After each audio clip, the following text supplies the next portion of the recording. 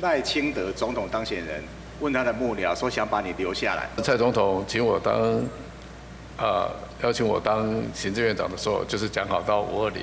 陪他一起同进退。原本传出可能留任的行政院长陈建仁，这一回铁了心，五二零后和蔡总统同进退。但究竟谁来接棒阁魁？据了解，赖清德除了已经启动征询，呼声最高的还是身兼交接小组成员的前文化部长郑丽君。那我并不了解赖主席的人事的布局，啊，所以呃，我也没有太多的想法。尽管郑丽君低调不愿多谈，但由于新政局朝小野大。传出绿营内部有人认为首任阁魁身段柔软是首要条件，以免朝野对立不利政策推动，并由首任政治运作的副院长来互补。郑文灿续任似乎并非不可能。其实是个社会沟通的能力，他以及行政的经验也是非常重要。这是赖清德总统第一个任期，所以我觉得要一定的亮点。郑丽君如果担任阁魁的话，会是台湾史上第一位女性的阁魁。而除了郑丽君之外，多次被点名的朱静一传出。接任可能性变得很低，还赖清德关系深厚的潘孟安则不排除接下总统府秘书长。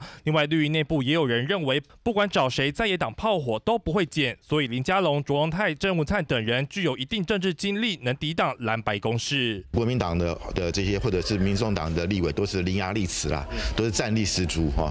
那如果说你完全没有办法应应，我没办法没办法 hold 住场面，没办法为政策辩护，那可能就会处于一个弱势。而赖清德首任阁魁，按照往例。最快三月就会出炉，四月底内阁团队筹组完成，五二零之前就定位无缝接轨，该如何稳定政局，也成为挑选阁魁重要人物。三立新闻黄燕姐、刘文博台北参报道。